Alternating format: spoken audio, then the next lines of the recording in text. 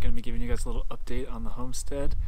We just got a new batch of Cornish crossers for our second time, and I'm going to be doing some work to the garden compost to get our beds ready for our spring and summer crops. So I'm going to be showing you guys the work I do in the compost bins today. Our fall crop is coming to an end, so it's time to amend these beds and get them ready for the spring and summer crop. You can see here a lot of our crops are starting to go to seed and flower, like our broccoli here.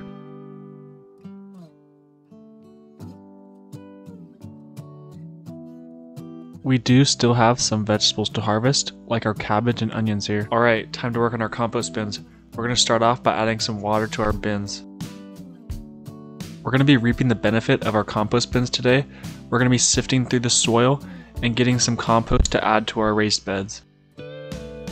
After adding water to our compost bins, we're going to start to stir them up and mix them around.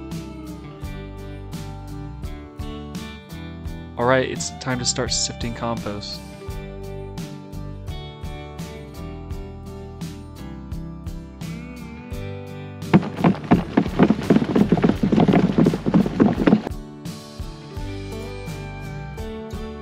This process does take time, but it's well worth it in the end with the compost that you receive.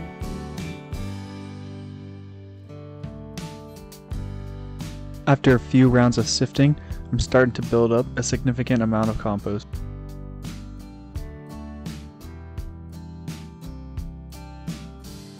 I'm done sifting my first compost bin, so I'm going to move on to start working my second bin.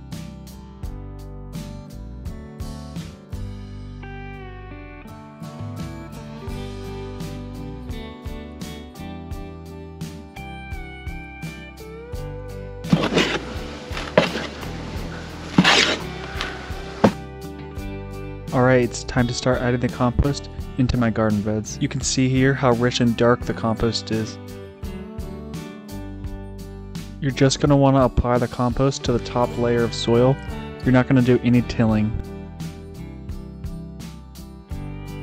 Alright, here I'm going to chop up some fresh greens from my bin on the very right and add it to my two bins on the very left. This will help speed up the decomposition time.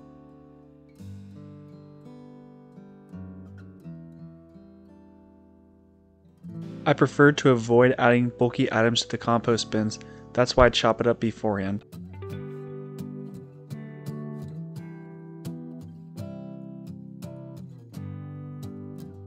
Here in our garden, we have a three bin compost system, which works well for us. This allows us to have each compost bin at different stages. Our two bins on the left here are the most decomposed and ready to sift, whereas our bin on the right is, has a lot of fresh material.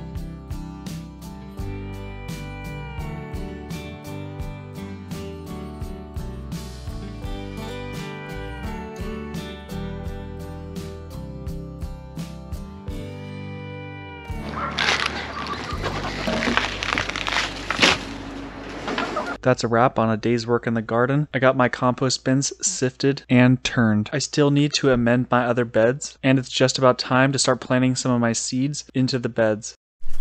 Here's our new batch of Cornish crossers. They are about three to four days old. We got eight females and seven males. Doing really good in the shed here. Stay tuned for more Cornish crosser videos coming up soon on the channel. If you liked this video, make sure to check out some of my other garden videos here. Spring is right around the corner, so a lot more garden content coming your way. Make sure to like and subscribe to the channel.